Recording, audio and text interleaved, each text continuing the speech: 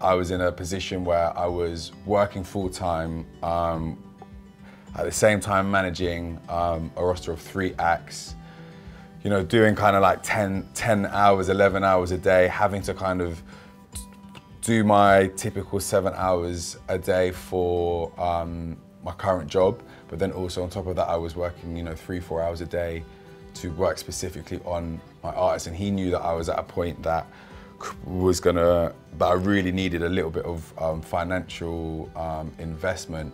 My, my honest opinion is just make sure that it's it's at that right point for you in your in your career trajectory. Whether uh, this is going to be the thing that makes you go from being a part-time manager to a full-time manager, uh, potentially, or or if if you're at a stage where you just feel you need that sort of little bit of extra support. The learning part of it was the, by far the most important and I think that needs to be why you want to do this course.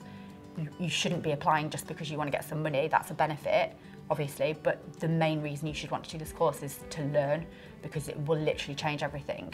I'd already had a background in working across events, working within media, working within brands um, as a promoter, but I felt that I could really benefit by the the yeah the support, the but the educational support as well as as much as um, the financial support. Clearly, it's a very competitive um, program to to try and uh, apply for, and I, I think it's um, testament to to um, how good the other managers are and what they've achieved in their career is uh, how really great the, the group is.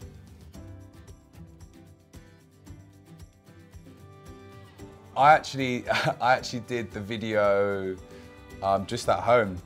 I made sure I had my best shirt on. Just did it in a, in a very simple environment with a friend, set up a camera and just reeled off the questions and, and just tried to make it more of a conversation. I mapped out um, the key points that I wanted to kind of get across about my artist within that video. So it was authentic and it didn't feel scripted or um, false, it was just quite, quite real. So yeah, I wouldn't put too much pressure on yourself for the video. It's not going to be massive, it's not going to be shown to the world. It's just something that's going to get you to the next stage. Put across your personality and your passion. Um, I think I that's how I always kind of deal with my artists and my business is just always trying to show like how excited and passionate I am about what we're doing and what we're planning to do um, and like kind of having that vision and also just speaking really enthusiastically about everything. I think like coming to this program with a lot of energy um, and like feeling really positive about it um, is like the right way to go. The MMF supported my decision making and my awareness to management, which would then instantly have a positive effect on the artists that I managed when they were also at crucial points in their career.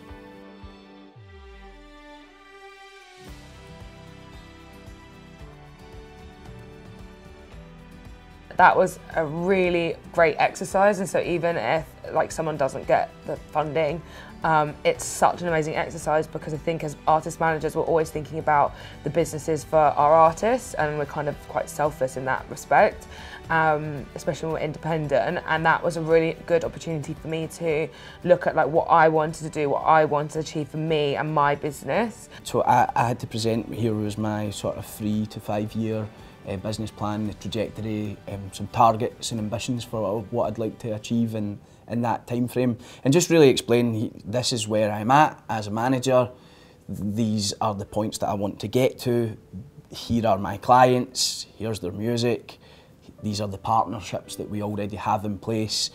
Be completely honest. So really think about what it is that you want to improve um, within yourself as a manager, how you want to develop as a manager, how you see your artist developing um, so that you can be completely clear in your business plan. This year especially has taught me, starting from that business plan, is okay, how do I want my future, my next two, three, four, five years to look? Before it got to a stage where I sent it over to the MMF, I, would had maybe up to around eight, eight rounds of feedback from a couple of people. I specifically targeted someone who was, um, who, who was working in management but had been who had maybe three, four years experience um, and then ensured that it was as tight as possible. So I sent it to uh, a teacher to kind of ensure that, yeah, it was as strong as it could be. for me, it's been something that I've been able to look back on, been able to look back at my plan at the beginning of the year to see where I am in terms of um, progression. Am I fitting in with where I thought I would be financially? Is my artist still going along the same trajectory that we had planned originally? So I think the business plan is um, something that I would spend a lot of time on and really hone in on. Really makes you dig down deep, and I think um, as detailed as possibly you can be, it's not only good for the application, but it's also just really good for your own kind of like mental well-being and, and like thinking ahead to the next chapter in your own life, regardless of the funding. The funding is obviously fantastic, but honestly, this year it's given me such an overall vision for like what I want the, my business to be in the next like 10 years, where I want it to go.